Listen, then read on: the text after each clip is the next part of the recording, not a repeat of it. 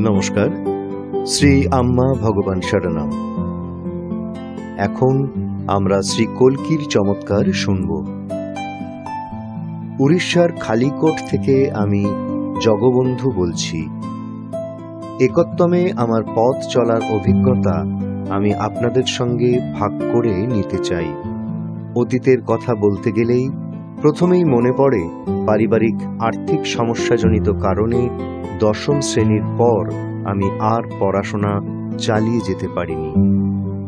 পরিবর্তে গুজরাটে দুই বছর শ্রমিক হিসেবে কাজ করার সময় আমি আরও ভালো চাকরি করতে আগ্রহী ছিলাম। কিন্তু বিভিন্ন ক্ষেত্রে আমার সব প্রচেষ্টাই ব্যর্থ হয়ে যাচ্ছিল।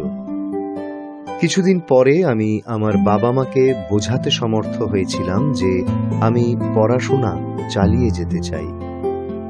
ব্যাংক থেকে ঋণ নিয়ে বিসিএ পাঠ্যক্রমে ভর্তি হলেও আমি পড়াশোনায় মনোযোগী হতে পারছিলাম না। পড়াশোনার প্রবল চাপে আমি খুবই হতাশ এবং মনমরা হয়ে গিয়েছিলাম। সে সময় কীভাবে আমি দিন যাপন করতাম তা ভাষায় প্রকাশ করা আমার পক্ষে খুবই শক্ত। একা বসে থাকতে থাকতে আমি মাঝে মধ্যেই কান্নাকাটি করতাম, কিন্তু বাবা মাকে নিঃসংকোচে কিছু বলতেও পারতাম না।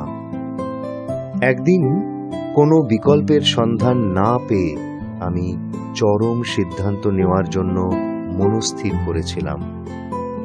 ঠিক পরের দিনই আমার একজন বন্ধু আমাকে শ্রী পরমজ্যোতি কল্কি আম্মা ভগবানের সম্পর্কে জানিয়েছিল। যদিও আমি আস্তিক ছিলাম না, তবুও আমি তার সঙ্গে নিকটবর্তী মন্দিরে গিয়েছিলাম।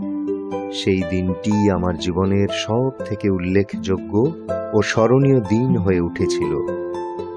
প্রথমবার শ্রীমূর্তির দিকে তাকিয়েই আমি শ্রী পরমজ্যোতি কল্কি আম্মা ভগবানের সঙ্গে দৃঢ় বন্ধন অনুভব করতে পেরেছিলাম।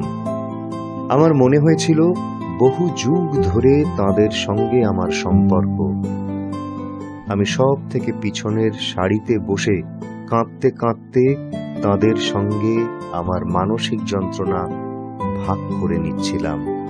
সেখানে একজন ভক্তের সঙ্গে আমার পরিচয় হয়, যিনি আমাকে এরপর শ্রী আম্মার দিব্য দর্শনে নিয়ে যাওয়ার জন্য খুবই সাহায্য করেছিলেন।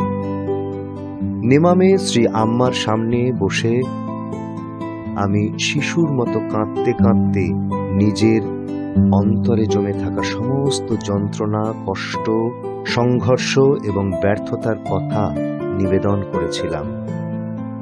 জীবন পরিবর্তনকারী এই অভিজ্ঞতার পর আমার জীবনে রূপান্তর ঘটেছিল। এই সময় থেকে আমি নিজের পড়াশোনায় মনোযোগী হতে এবং যে কোনো প্রতিকূল পরিস্থিতির সম্মুখীন হতে পারছিলাম। বর্তমানে আমি অন্তর্জামের সঙ্গে সমস্ত কিছু ভাগ করে নিতে পারি এবং অনুভব করতে পারি কীভাবে যে কোনো সমস্যাই খুব দ্রুত সমাধান হয়ে যাচ্ছে। শ্রী পরমজ্যোতি কল্কি আম্মা ভগবানের মার্গদর্শন এবং পিতামাতার আশীর্বাদ সঙ্গে নিয়ে আমি ধীরে ধীরে জীবনে এগিয়ে যেতে সক্ষম হয়েছি। বর্তমানে আমি দিল্লিতে সফটওয়্যার ইঞ্জিনিয়ার হিসেবে কর্মরত। হে সর্বশক্তিমান শ্রী পরমজ্যোতি কল্কি আম্মা ভগবান, কর্মজীবনের যাত্রাপথে সর্বদা আমার সঙ্গে থেকে সহায়তা প্রদান করার জন্য আমি আপনাদের অনেক অনেক ধন্যবাদ জানাই। আপনাদের প্রতি আমার গভীর আন্তরিক ভালোবাসা নিবেদন করছি।